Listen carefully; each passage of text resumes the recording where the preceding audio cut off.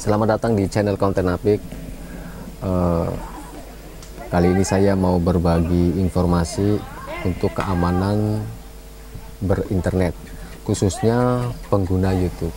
Buat Anda mungkin yang sudah berkeluarga dan punya anak, pasti ingin menyenangkan anak dengan cara memberikan gadget dan mereka bebas mengakses internet khususnya YouTube.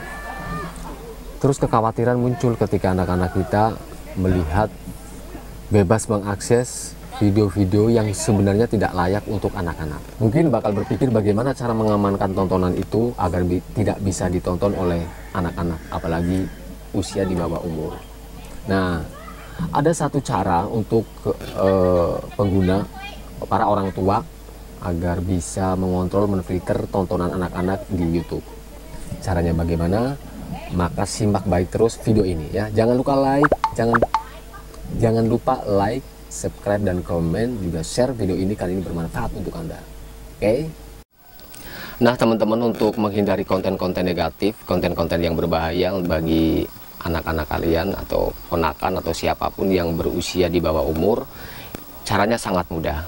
Bisa mengunduh atau mendownload aplikasi Go, uh, YouTube Kids. Bisa di-download di Google Play Store tapi kalau malas download bisa menyeting atau mengatur di aplikasi YouTube itu sendiri. Dengan cara buka aplikasi YouTube kemudian klik titik tiga tanda titik yang berjumlah tiga di pojok kanan kemudian pilih setting atau pengaturan. Setelah itu pilih umum atau general. Kalau sudah terbuka pilih mode terbatas. Nah, di sinilah mode terbatas ini fungsinya untuk membatasi konten-konten negatif, konten-konten yang berbahaya untuk anak-anak kalian. Selain kita memfilter di YouTube, sebenarnya banyak cara lain agar putra-putri kita, anak-anak kita terhindar dari konten-konten negatif di internet. Bagaimana caranya? Pengawasan atau kontrol. Manajemen waktu, aturlah waktu jam berapa anak memegang gadget, jam berapa anak bermain, jam berapa anak makan, jam berapa anak sekolah atau belajar. Itulah sedikit yang saya bagi sore ini. Mudah-mudahan bermanfaat untuk para penonton, khususnya ibu-ibu, bapak-bapak yang khawatir dengan gadget, eh, anak-anak yang menonton gadget. Sekarang ini berapapun usianya sudah bisa mengakses internet dengan bebas.